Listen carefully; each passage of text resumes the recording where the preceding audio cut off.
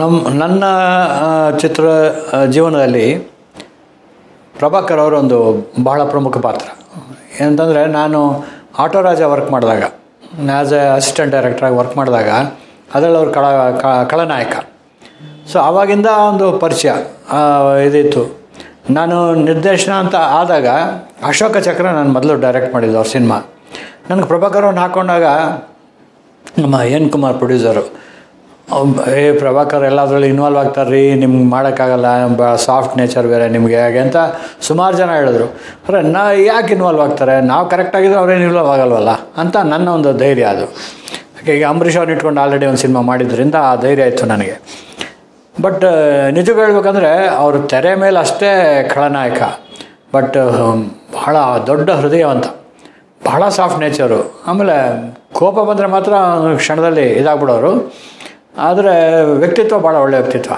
ನನಗೆ ಯಾವತ್ತೂ ಅವರೇ ನಿಲ್ವಾನು ಆಗಲಿಲ್ಲ. ನಾನು ಏನು ಶಾರ್ಟ್ ಹೇಳ್ತೀನಿ ಆ ಶಾರ್ಟ್ ಆ್ಯಕ್ಟ್ ಮಾಡಿ ಹೋಗ್ತಾಯಿದ್ರು ಹಾಗಾಗಿ ಅದಾದ ನಂತರ ಅವ್ರದ್ದು ನಾನು ಗೋಪಿ ಕಲ್ಯಾಣ ಮಾಡಿದ್ದಾಗಲಿ ಅಥವಾ ಮಿಂಚು ಮಾಡಿದ್ದಾಗಲಿ ಎಲ್ಲ ಸಿನಿಮಾಗಳು ಮಾಡಕ್ಕೆ ಸಾಧ್ಯ ಆಯಿತು. ಅಶೋಕ ಚಕ್ರನ ನನಗೆ ಒಳ್ಳೆಯ ಹೆಸರು ತಂದುಕೊಟ್ಟಂಥ ಸಿನಿಮಾ ಆಯಿತು. ನಾನು ಅಶೋಕ ಚಕ್ರ ಮಾಡುವಾಗ ಅದು ಎಲ್ಲರೂ ಹೇಳಿದಂಥ ಒಂದು ಮಾತು ನಿಮ್ಮ ನಿಮ್ಗೆ ಹೇಳಿದೆ ನಾನು. ಏನಂದರೆ ಅವ್ರು ಇನ್ವಾಲ್ವ್ ಆಗ್ತಾರೆ ಡೈರೆಕ್ಟ್ರು ಡಮ್ಮಿ ಅಲ್ಲಿ ಅಷ್ಟೇ ಅಂತ. ನಾನು ಹೇಳಿದೆ, ನಮ್ಮ ಕೆಲಸ ನಾವು ಕರೆಕ್ಟಾಗಿದ್ದಾಗ ಅವ್ರು ಯಾಕೆ ಇನ್ವಾಲ್ವ್ ಆಗ್ತಾರೆ? ನಾವು ಅವ್ರ ಮೇಲೆ ಬಿಟ್ಟಾಗ, ನಾವು ಜವಾಬ್ದಾರಿಯನ್ನು ಕಮ್ಮಿ ಮಾಡ್ಕೋಬೇಕು ಅಂತ ನಿರ್ದೇಶಕ ಅವ್ರ ಮೇಲೆ ಬಿಟ್ಟಾಗ ಅವರು ಬಹುಶಃ ಅದನ್ನು ಪ್ರಾಮುಖ್ಯತೆ ತೊಗೋಬೋದು ಅದಕ್ಕೆ. ಆದರೆ ನಾನು ಫಸ್ಟ್ ಡೇ ಶೂಟ್ ಮಾಡೋವಾಗಲೇ ಅವರು ನೋಡಿದ್ರು, ಒಂದು ಎರಡು ಶಾರ್ಟ್ ತೆಗಿಯೋವರೆಗೂ ನೋಡಿದ್ರು. ಆಮೇಲೆ ಏನು ಅವ್ರೇನು ಇಲ್ಲ ಅನ್ನೋ ಆಗಬೇಕು ಅನ್ನೋದು ಅವ್ರ ಮನಸ್ಸಲ್ಲಿ ಬರಲಿಲ್ಲ. ಆಮೇಲೆ ಅಂದ್ಕೊಂಡ್ರು, ಎಲ್ಲ ನೋಡಿ, ಎಲ್ಲರೂ ಈ ಥರ ಅಂತಾರೆ ಕೆಟ್ಟ ಹೆಸರು ಅಂತ ಬಟ್ ನಾನು ನೀವು ತೆಗೆಯುವಾಗ ನನಗೇನು ಇನ್ವಾಲ್ವ್ ಆಗಬೇಕು ಅಂತ ನಾನು ಅನ್ನಿಸ್ಲಿಲ್ಲ. ಬಟ್ ಆ್ಯಕ್ಷನ್ ಪೋರ್ಷನ್ ಇದ್ದರೆ ನಾನು ಒಂಚೂರು ಇನ್ವಾಲ್ವ್ ಆಗ್ತೀನಿ ಅಂದರು. ಫೈಟ್ಸಲ್ಲಿದ್ದರೆ ಅಂತ. ಫೈಟ್ ಮಾಸ್ಟರ್ ಬೇರೆಯವ್ರನ್ನ ಇಟ್ಕೊಳ್ಳಿ ಬಟ್ ಫೈಟಲ್ಲಿ ನಾನು ಇನ್ವಾಲ್ವ್ ಆಗ್ತೀನಿ. ಸರ್ ಫೈಟಲ್ಲಿ ನೀವು ಮಾಡಿ ಸರ್ ತಪ್ಪೇನಿಲ್ಲ. ಅಂತಂದಾಗ ಅದು ಒಪ್ಕೊಂಡ್ರು. ಮೊದಲು ಒಂದು ಎರಡು ದಿವಸ, ಮೂರು ದಿವಸ ಶೂಟಿಂಗ್ ಆಗ್ತಾ ಆಗ್ತಾ ಆಗ್ತಾ ಭಾಳ ಜ, ನನಗೂ ಅವ್ರಿಗೂ ಒಂದು ಚೆನ್ನಾಗಿ ರ್ಯಾಪ್ ಬೆಳೀತು. ಅಂದರೆ ಶಿಸ್ತಿನ ಕೆಲಸ ಮಾಡ್ತೀವಿ ಅನ್ನೋದೊಂದು ಅವ್ರಿಗೂ ಇಷ್ಟ ಆಯಿತು. ಆಮೇಲೆ ಅವು, ಅವರು ವೀಕಾಗಿ ನಾನು ತೆಗಿತಾ ಇಲ್ಲ ಅನ್ನೋದೊಂದು ಅವ್ರಿಗೂ ಗೊತ್ತಾಯಿತು. ಹಾಗಾಗಿ ನಾನು ಮತ್ತೆ ಕಂಟಿನ್ಯೂ ಮಾಡೋಕ್ಕೆ ಜಾಗ ಆಯಿತು ಅವ್ರದ್ದು ಪ್ರಭಾಕರ್ ಅವ್ರು ಇನ್ನೊಂದು ಸಿನಿಮಾಗಳನ್ನ ಹಾಕ್ಕೊಂಡು ಮಾಡೋರು. ಬಟ್ ಗೋಪಿ ಕಲ್ಯಾಣ ನಮ್ಮ ತಂದೆಯವರ ಪ್ರೊಡ್ಯೂಸ್ ಮಾಡಿದ್ದು. ಗೋಕುಲ್ ರಾಜು ಅವರು ಎಲ್ಲ ಸೇರಿ. ಅವ್ರ ಕ್ಯಾರೆಕ್ಟರ್ ಕೇಳಿ ಭಾಳ ಇಷ್ಟ ಆಯಿತು ಅವ್ರಿಗೆ ಗೋಪಿ ಕಲ್ಯಾಣದಲ್ಲಿ. ಆ ಥರ ಪಾತ್ರ ಅವ್ರು ಅದುವರೆಗೂ ಮಾಡಿರಲಿಲ್ಲ.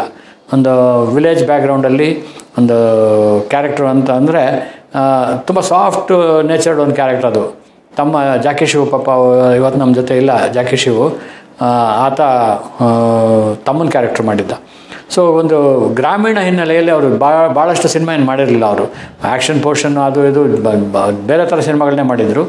ಅದರಲ್ಲಿ ಅವರು ಪೂರ್ತಿ ಕ್ಯಾ ಪಂಚೆ, ಒಂದು ಶರ್ಟು ಮೇಲ್ಗಡೆ ಒಂದು ಶಲ್ಯ, ಈ ಥರದ್ದೇ ಕ್ಯಾರೆಕ್ಟ್ರು ಇಟ್ಕೊಂಡು ಮಾಡಿದ್ದು ಅದು ಪ್ರಭಾಕರ್ ಅವ್ರ ಬಗ್ಗೆ ಹೇಳಬೇಕು ಅಂತಂದರೆ, ಈಗ ನಾನು ಅಶೋಕ ಚಕ್ರ ಬಗ್ಗೆ ಹೇಳ್ತಾ ಇದ್ದೆ. ನಾನು ಯಾವ ಥರ ನಮಗೆ ಅವರು ಇನ್ವಾಲ್ವ್ ಆಗದಿರಾನೇ ಆ ಸಿನಿಮಾ ಮುಗಿಸಿದ್ವಿ ಅಂತೇಳಿ ಅದಾದಮೇಲೆ ಎನ್ ಕುಮಾರ್ ಅವರು ಅದು ಸಕ್ಸಸ್ ಆಯಿತು, ಗೋಪಿ ಕಲ್ಯಾಣ ಆಯಿತು. ಬಟ್ ಕೊನೆಯಲ್ಲಿ ನಾನು ಮಿಂಚು ಮಾಡುವಾಗ ಹೇಳ್ತಾ ಇದ್ದೆ ನಿಮಗೆ, ಅವ್ರ ಕಾಲು ನೋವು ಜಾಸ್ತಿ ಆಗಿತ್ತು. ಮೊದಲು ಅವ್ರ ಮನೆಗೆ ಹೋದಾಗ ನಮಗಿದ್ದಂಥ ವಾತಾವರಣ ಆಮೇಲೆ ಆಮೇಲೆ ಕಾಣ್ತಾ ಇಲ್ಲ. ಯಾಕೆಂತಂದರೆ ಅವರು ಕಾಲು ನೋವಿನಿಂದ ಬ ನಳ್ತಾ ಇದ್ದಿದ್ದು ಗೊತ್ತಾಯಿತು. ಡಾಕ್ಟ್ರ್ ಆ್ಯಂಪಿಟ್ ಮಾಡಬೇಕು ಅಂತ ಹೇಳಿದರು ಅಂತ. ಒಬ್ಬ ಕಲಾವಿದರಾಗಿ ಅವ್ರಿಗೆ ಆ್ಯಂಪಿಟ್ ಮಾಡಿಬಿಟ್ರೆ ಅವರು ಫೈಟ್ಸಲ್ಲಿ ಹೆಸರು ಮಾಡಿದವರು, ಅಂಥ ಅದ್ಭುತವಾದಂಥ ಕಲಾವಿದರು. ಆ ಭಯಕ್ಕೆ ಅವ್ರೇನು ಮಾಡೋರು, ಅದು ಗ್ಯಾಂಗ್ರೀನ್ ಮೇಲಾಗದೇ ಇರೋ ಹಾಗೆ ತಡಿಬೇಕು ಅನ್ನೋದಕ್ಕೆ ಒಂದು ಸೊಲ್ಯೂಷನ್ ಇತ್ತು ಅಂತ. ನಮಗೆ ಒಂದು ಒಂದು ದಿವಸ ಹೋದಾಗ ನಾನು ಕಣ್ಣಾರೆ ಕಂಡೆ ಆ್ಯಕ್ಚುಲಾಗಿ ಆ ಗ್ಯಾಂಗ್ರೀನನ್ನು ಏನು ಹುಳುಗಳು ತಿನ್ನುತ್ತೇವೆ ಅಂತ ಹೇಳ್ತಾರೆ ಅದು ಆ ಪೋರ್ಷನ್ ತಿಂತಾ ಬರುತ್ತೆ ಅಂತ. ಆದರೆ ಅವರು ನಿಜಕ್ಕೂ ಅಂಥ ಕಲಾವಿದ ಅಂದರೆ ಆ ಕಾಲನ್ನು ಡೈಲಿ ಅವರು ಫ್ರೆಶ್ಶು ತಂದು ಅದನ್ನು ತೆಗೆದು ಕಟ್ಟಿ ಅದ್ರ ಮೇಲೆ ತುಂಬ ಬ್ಯಾಂಡೇಜ್ ಮಾಡಿ ಆ ಮೇಲೆ ಬರದೇ ಇರೋ ಹಂಗೆ ಯಾಕೆಂದರೆ ಕಲಾವಿದರ ಜೀವನ ಏನಂತಂದರೆ ಅವರ ದೈಹಿಕ ಒಂದು ದೇಹದ ಅಡ್ಯ ಅಥವಾ ದೈಹಿಕ ಶಕ್ತಿ ಮೇಲೆ ಅವಲಂಬಿಸಿರುತ್ತೆ ಅವ್ರು ಪ್ರಾಜೆಕ್ಟ್ ಮಾಡುವಾಗ ಸಿನಿಮಾದಲ್ಲಿ ಅವ್ರು ಹಾಗೆ ಕಾಣಬೇಕು ಅದರಲ್ಲೂ ಪ್ರಭಾಕರ್ ಅವರು ಅಂಥ ಜಿಜಾಂಟಿಕ್ ವ್ಯಕ್ತಿತ್ವ ಪರ್ಸ್ನಾಲಿಟಿ ಫೈಟ್ಸು ಅವ್ರ ಅಭಿಮಾನಿಗಳನ್ನು ನೋಡೋ ರೀತಿ ಬೇರೆ ಅಲ್ವಾ? ಸೊ ಹಾಗಾಗಿ ಅದನ್ನು ಕಾಪಾಡ್ಕೋಬೇಕು ಅಂತ ಅವ್ರು ಕೊನೆ ಉಸಿರೋವರೆಗೂ ಅದನ್ನು ಕಾಲನ್ನ ಹೋರಾಟ ಮಾಡ್ತಾನೆ ಇದ್ರು. ಅದಕ್ಕೆ ಕಾಲಿಗೆ ಫ್ಲೆಶ್ ಕಟ್ಟೋದು ಆ್ಯಕ್ಚುಲಾಗಿ ಆ್ಯಕ್ಚುಲಾಗಿ ನಾನು ನಿಮ್ಗೆ ಹೇಳಿದ್ದು ದನದ ಮಾಂಸ ಅಥವಾ ಹಂದಿ ಇದನ್ನು ಕಟ್ತಾರೆ ಅಂತ ಹೇಳಿ. ಬಟ್ ನಮ್ಗೆ ಅನ್, ಅನಿಸ್ತು, ಇಷ್ಟೆಲ್ಲ ಪಾಪ ಕಷ್ಟಪಟ್ಟು ಇವರು ಅದು ಡೈಲಿ ಒಂದು ಟೂ ಅವರ್ಸ್ ಅದನ್ನು ಕ್ಲೀನ್ ಮಾಡಿ, ಬರೀ ಬರೀ ಮೂಳೆ ಇರುತ್ತೆ ಅಷ್ಟೇ ಫ್ಲೆಶೇ ಇಲ್ಲ. ಫ್ಲೆಶ್ ಇದೆ. ಹುಳುಗಳು ತಿನ್ನಬೇಕು ಅಂತಂದರೆ ಫ್ಲೆಶ್ ಬೇಕು ಅಂತ ಆ ಫ್ಲೆಶ್ನ ಕಟ್ಟೋರು ತಂದು. ದನದ ಮಾಂಸನೂ ಮತ್ತು ಇದನ್ನು. ಆ ಸ್ಮೆಲ್ಲು ಇದು ಅದೆಲ್ಲ ತಡ್ಕೊಂಡು ಕೊನೆವರೆಗೂ ಪಾಪ ಹೋರಾಟ ಮಾಡೇ ಇದಾಯಿದ್ರು ಅವರು.